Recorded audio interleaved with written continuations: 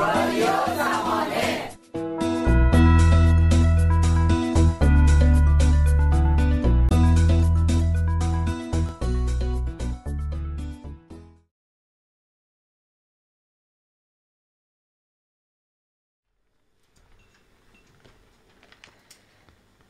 20 دقیقه وقت دارم ازش حد اکثر سو استفاده رو می‌کنم. دو تا شعر سه تا شعر داستان کوتاه و قسمتی از رمانی که دارم می‌نویسم و براتون می‌خونم.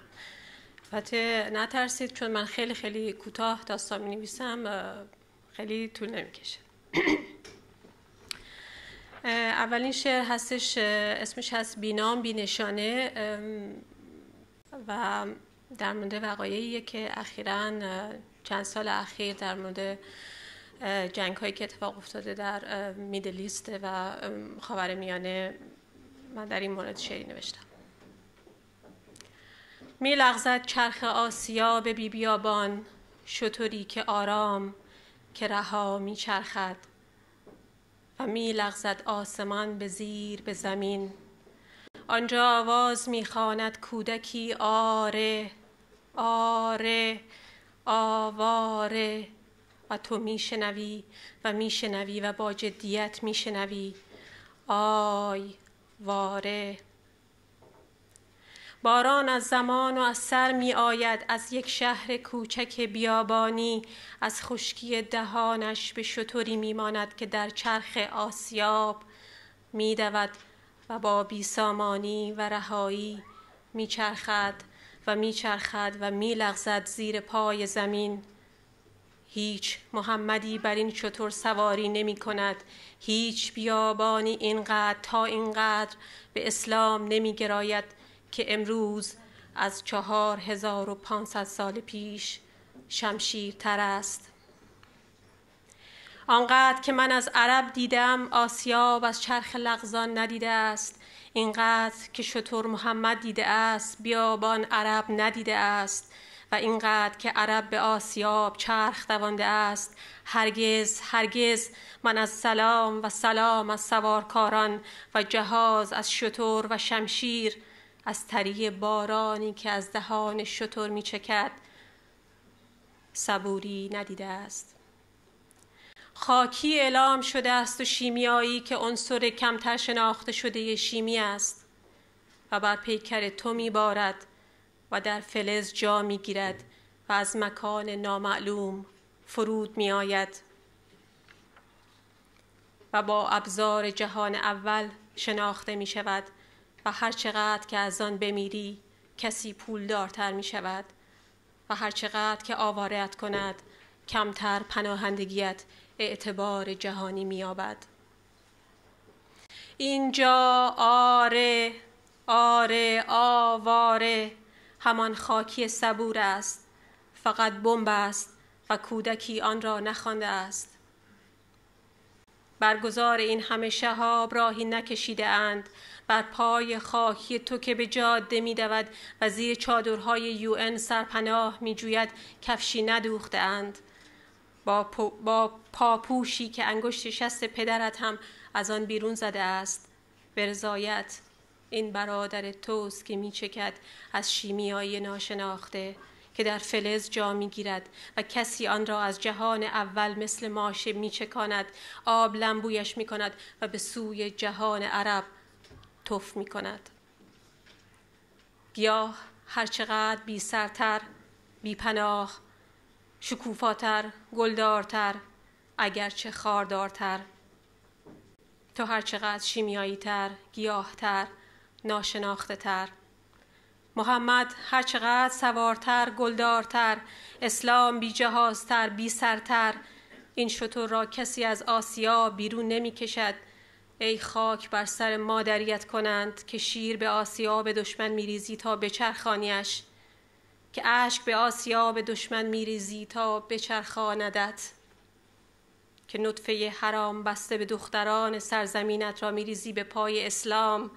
تا شطورش چهار هزار و پانصد سال حرام بزاید. زمین را میدود عرب و تن سوراخدارش را به رخ آسمان می‌کشد در سوراخی که نفت می‌روید و شهابوار بر گستری گیتی می پاشد. حرامزاده های بی شطور و بی جهاز با هم برادری می کنند و سوراخ است که جهان, که جهان تو را بر انگشت بیرون زده پدرت و پاهای برهنی تو تزئین می کند کسی دارد از دور دست به دست می مالد و شیمیایی ناشناخته گل می دهد و گل بر سرت تاجی می شود خاردار و تاج بر سرت می نشیند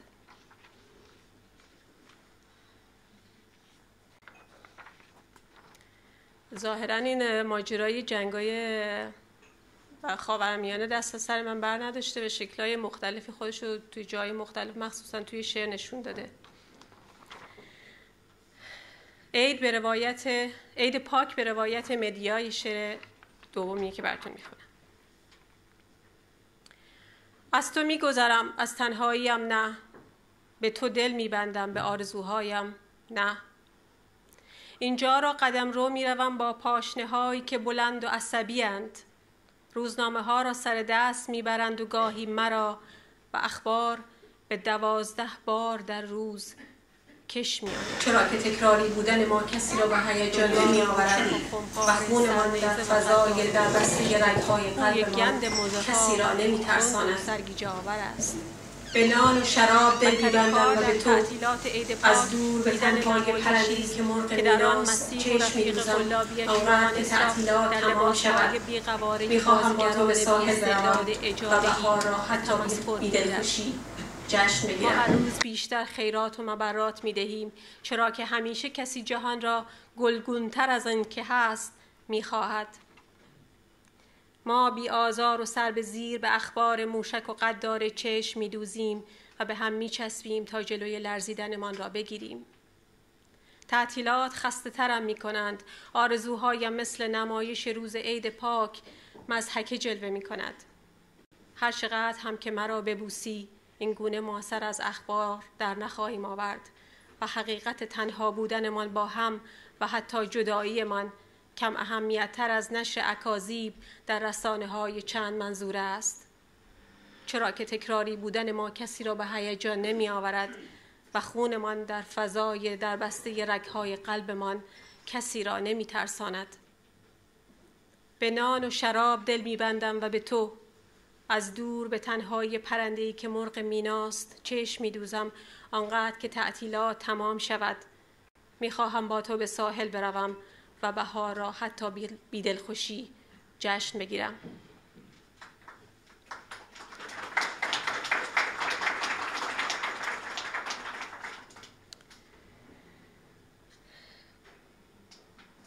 این شعر آخر اسم نداره. گاهی دلم می‌خواهد قطری که میچکد صدای تالاب ندهد. یا روی سنگ فرش که راه می‌روم یا روی تخته های چوبی کف اتاق صدای تختق کفش های تازه که خریدم صدای غیر از تختق بدهد. گاهی دلم می‌خواهد قلبم جور دیگری بتپد و تاب تاب نکند با دیدنت و همه صداهایی که در سرم بلند می شود و باز هم اشتباه کردی ها و تو آنیستی که من می‌خواستم ها در گلو خفه شود. گاهی فکر می کنم بی تو هم می به موج آب خیره شد و مفتون بینهایت دریا به آبی رنگ تازه‌ای بخشید. گاهی که زیادی فکر می کنم به خودم اخ می کنم می گویم این ایکاش هایت را بردار با اماها سر کن. چیزی از تو کم نمی شود و گاهی که خیلی به خودم سخت می گیرم می گویم برو توی بالکن سیگاری بکش و آرام برای پرنده‌ای که در دوردست تمرین تنها بودن می کند دست کام بده. سلام کن و برو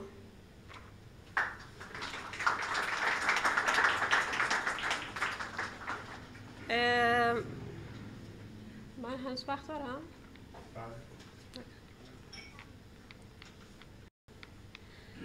توی هر چقدر که توی شعرها چیزایی که بیرون از زندگی شخصی من اتفاق میفته من تحت تاثیر قرار میگه و در موردشون می نویسم داستانها خیلی تا حد زیادی نگاه خود من به دنیا هستن. این لزوما چیزی که من می نویسم در مورد خودم و خانواده و نمی‌دونم آشناها نیست. ولی نوع نگاهیه که من به دنیا دارم.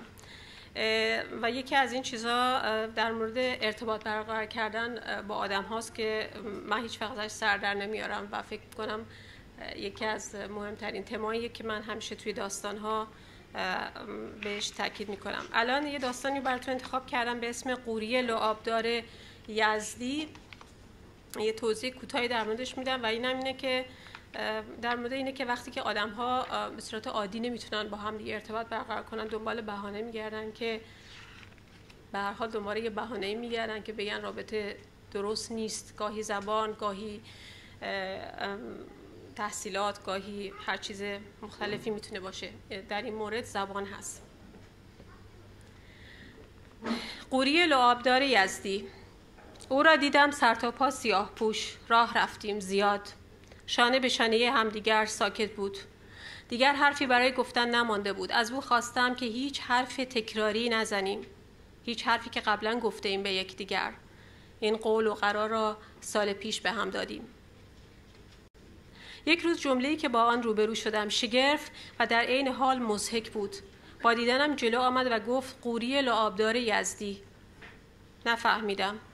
خندید و سرش را تکان داد. گفتم این به جای سلام کردنته از شدت خنده شانه هایش به لرزه افتاد. بی اختیار به خود میپیچید و اشک میریخت.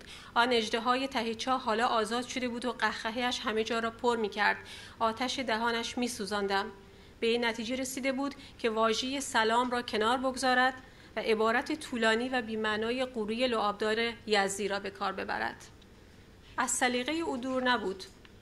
ولی کمی دیوانگی می‌خواست اینطور حرف زدن به خصوص که من با هیچ یک از عبارتهای جدید او آشنایی نداشتم. اگر دوستیمان همینطور ادامه پیدا می‌کرد از درک متقابل عاجز می‌شدیم. یک زندگی پر از چیستان پر از حدس و گمان پر از اگر و آنگاه. گیرم من بار اول میفهمیدم که قوری لعابدار یزدی یعنی سلام. ولی روزهای بعد که همدیگر رو می‌دیدیم چه؟ او هر بار کلمه تازه ای اختراع می کرد حوصله نداشتم بازی لوسی بود. باید تمامش می کردیم راه افتادیم. گویی تمام این سه هفته را به نقص بزرگ غیر تکراری بودن حرفهایمان فکر کرده بود. می‌دانست هر کلمه که از دهان او خارج شود چیزی است که قبلا نشنیدم تازگی بود که داشت ما را دچار سوء تفاهم می کرد سکوت کرده بود و متقابلا من هم. یک ساعت راه رفتیم. دو ساعت راه رفتیم. چهار ساعت راه رفتیم. خسته شدم. داشتم عرق ریختم انگار تمامی وزن من را که با وجود اخمهایم سه چهار برابر شده بود بر دوش می‌کشید. می‌خواستم بگویم بس کن بیا بنشینیم. زبانم خوش شده بود. نمی توانستم کلمه ای پیدا کنم. دستش را کشیدم و از حرکت بازش داشتم. ایستاد. به چشمهایش خیره شدم و سعی کردم کلمه مناسبی پیدا کنم. هیچ. هیچ کلمه مناسب حالم نبود. هیچ کلمه ای برای گفتن نداشتم. یک قدم به طرف او برداشتم و گریه را سر دادم. نزدیک پلکان پنجم در ابتدای کوچه خسرو شیرین بودیم. ولی اصر در آغوش او چند قدمی برداشتم. لباس سیاهش همه نورهای آن روز را به خود جذب کرده بود. یک گلوله آتش شده بود. یک اجده تمام ایار. خود را رها کردم و بر روی اولین پلکان از پلکان پنجم ولو شدم. سال 1889 تابلوی سرو و گندمزار اثر فانخوخ. گندمزار شکل گسترده آتشی است که هر آن هر آن گسترش را افزایش می دهد و آن سرو گوشه سمت چپ تصویر گویی شعله افروخته سر به فلک کشیده است. فقط تنهاست و با آن آتش پهن شده زیر پایش فرق دارد. همه چیز می سوزد گرما بیداد می کند ابرها دودن کوه کوره آتشبازی که تمام شود از تابلوی وانگوخ هم چیزی باقی نمی ماند جز خاک سیاه. می شنوم گرمازدگی استراحت کامل بکنه. چند روزی از خونه بیرونش نیارین. بذارین مایات بنوشه. راحتش بذارین اگه نمی‌خواد حرف بزنه اصرار نداشته باشید. خطرناک نیست. نگران نباشید. سه روز دیگر هم گذشته از ساکتم و گوش به زنگ. گفتم بیا فراموش کنیم همه چیز را بیا قول بدهیم. داشتم سوار ماشینی می شدم که من را به خانه می رساند در بست از جلوی اورژانس تا در خانه.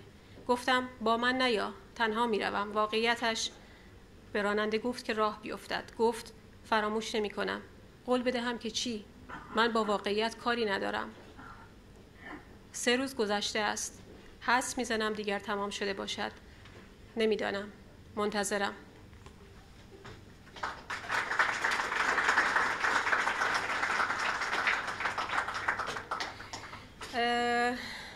رومانی که من تابستون پارسال شروع کردم و تقریبا داره تموم میشه در مورد کسی هستش که از جنگ برگشته نه از جنگ برگشته دوران بعد از جنگ هست. و این آدم در از خیلی کم سن و سالی توی جنگ بوده و الان اتفاقاتی که براش میفته چیزی نیست که اون می‌خواد. هیچ وقت از زندگی راضی نیست و مجموعه اتفاقایی که براش میفته و تصمیمایی که مخصوصا تصمیمایی که توی زندگی می‌گیره به طرز عجیب غریبی دیگران و خودش رو تحت تاثیر قرار میده و این دقیقا چیزی که اون نمی‌خواد. ولی به حال این چیزی که جنگ با خودش آورده و دست از سرش بر نمیداره. یه قسمت از داستان خیلی بخش کوتاهیشو براتون می‌خونم. پدر اخمایش را توی هم می‌کشد. قیچی آهنبری را تا نزدیک گوشش بالا می‌برد و با نوک آن سرش را میخاراند. می‌گوید گفتم وردار ببر و حرف و کم کن. بهروز خودخوری می کند فکهایش را به هم قفل می کند تا چیزی نگوید که وضع را از اینکه هست بدتر کند. پره های بینیش دوباره به لرزه می افتد و بغز گلویش را می گیرد دندانهایش را به هم فشار می دهد و کلماتی را که توی دهانش گلوله شده با زبانش می مالد به دیواره دهان تا صاف و صافتر شود. نه مطمئن است که حرفی نخواهد زد و می‌گذارد تا پدر خشمش را اینطوری سر او خالی کند. پدر را می‌گذارد تا مثل همیشه پیروز جنگ ها باشد. جنگ پدر و پسر جنگ مادر و پدر و جنگ پدر با هر کسی که از او نافرمانی می کند به پدر پشت می کند تا او چشم های ترش را نبیند. همینطور جعبه شیرینی به دست راه میافتد طرف در مغازه و می‌گوید بگذار در همسایه شما هم از من فیضی ببرند. هر روز که من در امتحانات قبول نمی‌شوم. پدر نیشخند می‌زند چیزی نمی‌گوید. بهروز در نگاه پدر می‌خواند که هر چقدر هم که چابلوسی مرا بکنی بیفایده است. در امتحانات من حالا قبول نشده ای انگار دارد می‌گوید که برخلاف میل او رفت وارد ارتش شدن روی هر پیشرفت و موفقیتی را میپوشاند. دارد با زبان بیزبانی به او می‌گوید که اگر به درجه خدایی هم برسی چون برخلاف میل من رفتار کرده ای کسی نیستی. دیو پدر دوباره در ذهن بهروز زبانه می‌کشد و آتشش روی قلب و فکر او میپاشاند. با خودش می‌گوید اینها همه فکر و خیال است. چرا اینقدر مورد او بد فکر می‌کنم؟ چرا باید همانطور که من می‌خواهم رفتار کند؟ پدر کی دست در گردن کسی انداخته تا خوشحالیش را نشان دهد که می‌خواهم این بار برای من هم خوشحالی کند؟ به سیف فکر, به سیف فکر می کند که گفته بود اگر یک تبریک خشک و خالی تحویلت دادن کلاهت را بیانداز بالا. گفته بود من انتظار ندارم کسی برایم چاپول بزند. خوب کردم خودم, خودم خیرش را می بینم بعد هم کردم خودم می سوزم چرا نمی توانست مثل سیف حسابش را از پدر و خانواده جدا کند و اینقدر در بند بکن آنها نباشد؟ خیلی ممنون.